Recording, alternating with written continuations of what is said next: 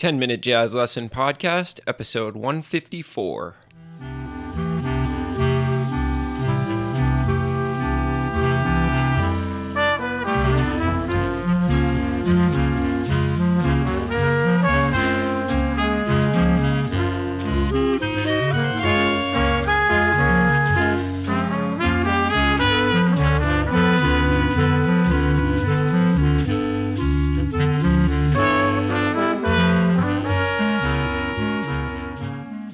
Hey, everybody, welcome back to episode 154 of the 10 Minute Jazz Lesson Podcast. My name is Nick Mainella. I am the creator and host of the show. We are so happy to have you here.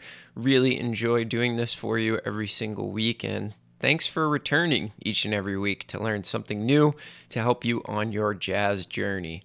So, before we jump into the show, a couple of housekeeping items. Just a reminder that you can get the PDF to this episode and all the other episodes that we've ever done by going to our Patreon page. That is patreon.com slash 10 minute jazz lesson. Or you can go to our website, 10minutejazzlesson.com, click on one of the Patreon banners, and go over there and the way that it works is that you pledge a very, very small amount of money every single month, $3 or more, and you get your hands on all of the worksheets that I make for every single one of these episodes to help you along with getting better at your instrument and better at jazz. We have a really great community over there of over 200 people that have pledged their support and uh, shown that this podcast is actually important to them. So, anybody out there who feels the same way, we'd really appreciate those donations every single month. It keeps everything coming at you. Got to give a quick shout out to all the people that have joined up this week. Uh, the first person is Jepe, and I do not know if I am pronouncing that correctly, so I'm really sorry. Rocco and Paul, thank the three of you for coming on board, showing your support, and keeping the podcast coming at you in high quality week after week. All right, very excited about today's episode. We're going to be taking a look at some of Coltrane's playing, always one of my favorite things to do. So let's jump into it. So, what I wanted to show you this week was this way that Coltrane uses a combination of a bunch of triads, but he combines that with some chromatic motion that just makes it sound amazing.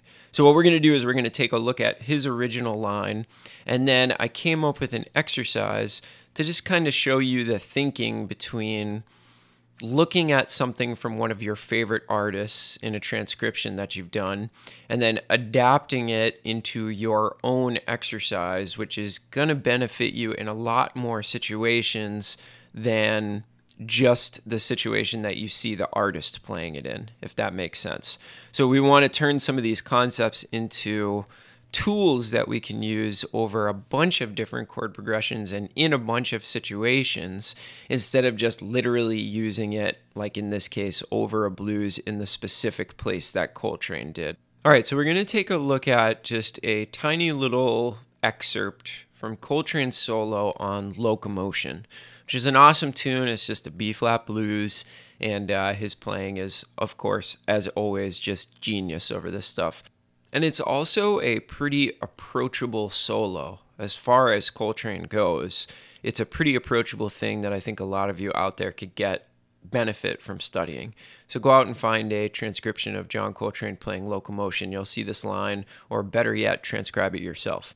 Okay, so what we see is in measures 7, 8, 9, and 10 of the blues, Coltrane does this really, really cool thing where he plays this series of descending triads, but he uses a chromatic approach tone to the fifth of these triads, and it just gives it this really, really cool effect of these descending tonalities, but with some chromaticism built into it.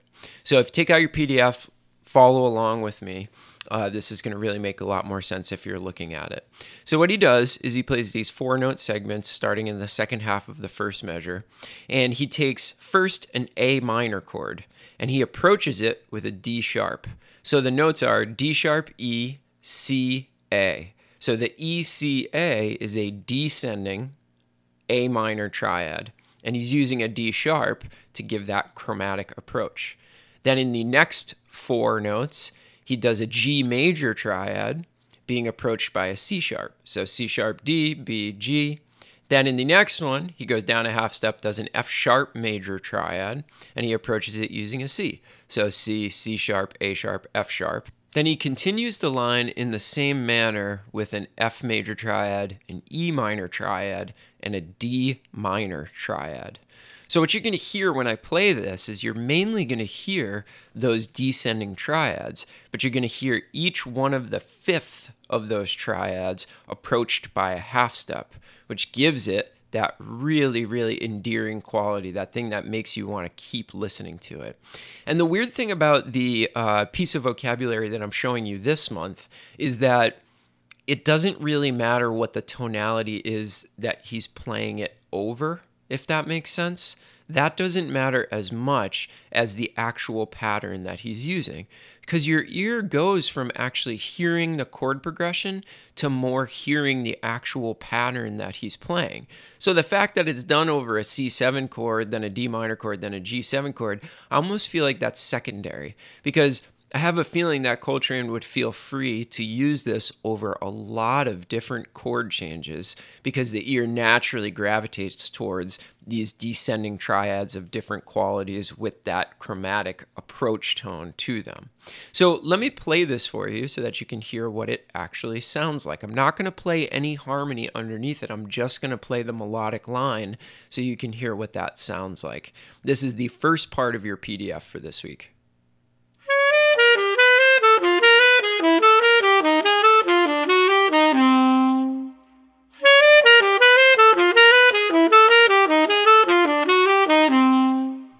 So you can hear the descending tonality, but the thing that makes it really cool, I mean, we can play descending triads and it's not like the hippest thing anybody's ever heard in their lives, but it's that chromatic approach tone that really makes it sound cool because you're getting just this other flavor before you hear the triad. And it just adds, it's funny how one simple melodic device can add so much depth and breadth to a line. And I think that's what's happening here. I think that's what keeps it really interesting. And also, he plays it at a pretty fast tempo. So that also helps because it's just impressive to be able to move around among those triads. So you'll notice that it's a mixture of minor and major triads. But I got to thinking, all right, let's make an exercise out of this so that you guys can kind of take this with you and do something with it further. So I decided to go with major triads. And basically, what I'm doing is I'm just using all 12 keys of major triads, descending from the fifth with a chromatic approach to that fifth. So I'm starting on C and I'm coming down. I'm doing a C triad, a B triad, a B flat triad, so on and so forth, all the way until I get back down to a C triad. And I feel like this works really well in half steps. So doing, you know, descending triads in half steps. It just works really well with the line.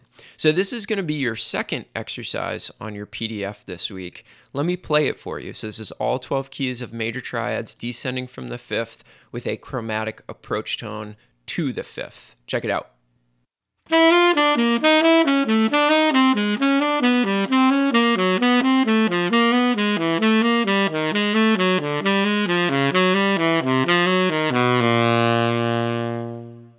So, a pretty cool exercise that can be used in a lot of different situations. And what I'm going to do for the Patreon members is I'm actually going to throw up a way that you could actually apply that over a 251, along with a little video kind of showing you how you can actually apply this in real life. But even if you just worked on the exercise, it's fantastic for whatever instrument you're playing. It's a great way to gain further knowledge of triads, especially starting on the fifth of each triad. It's just great all around. And then what you should do is, since I'm doing this with major triads, you should also do this with minor triads. Why not, right? You're you're investigating this concept. Why not investigate it a little bit more deeply? Put it into a different tonality, minor triads. You can in fact do it with a bunch of different qualities of chords. What if you did it with uh, diminished triads? What if you did it with augmented triads? There's really a lot of possibilities here, and that's the name of the game is taking one concept and kind of forcing it to run its course over a bunch of different situations. That's what's going to make you the best player you can possibly be. So, if you're a Patreon member, make sure you go and grab the PDF to this. There will be a video there with another PDF that's detailing a line that you can actually use, like over a 2.5 or something like that. Okay, so this is pretty amazing. I love looking for things like this, and uh, they just benefit my playing so much. Just a simple little four measure phrase has now given me weeks of material to work on, and I just know that it's going to end up making me a better player. So let me know what you think about this episode. Uh, you can do that by joining up the 10 Minute Jazz Lesson Community Facebook group. Make sure you request to get in that. I will approve you, and then we can have a discussion on this episode or any of the other episodes. I love hearing from you guys. It's been some great discussion in there these past couple weeks. Remember, if you want to become a Patreon member, get the bonus content for this episode and get the PDFs to every single episode, just go to 10minutejazzlesson.com, click on one of the Patreon banners, and you will be able to join up today for the low cost of only $3 a month. All right, everybody, hope you have a great weekend. Hopefully, this episode benefited you, and we will talk to you soon. Have a good one, everybody. Bye.